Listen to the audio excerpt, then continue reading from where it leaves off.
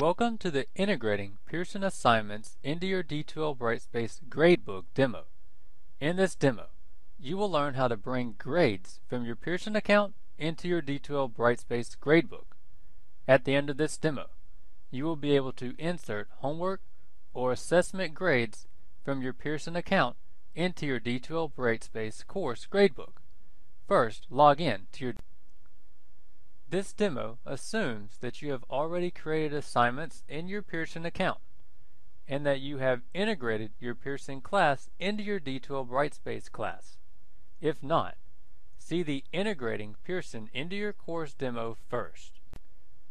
On the course homepage, click on the Pearson MyLab and Mastering link in the MyLab and Mastering widget.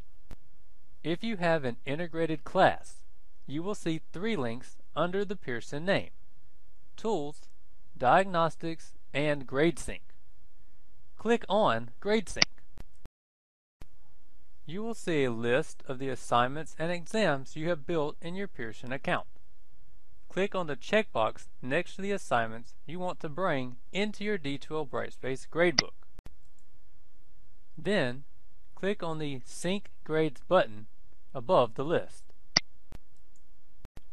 the grades will be brought in, and you will see a message that starts with success and lists the grade items that were brought into your D2L Brightspace course.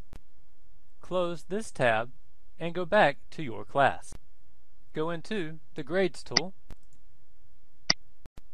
and choose the Manage Grades tab. Notice that your assignments were brought in at the bottom of your gradebook, just above final calculated grade as gradebook items. Note that they all came over with a numeric type and had the max points as you had assigned them in the assignment in the MyLab.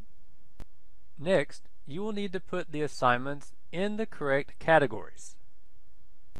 You have now successfully integrated Pearson assignments into your D2L Brightspace gradebook.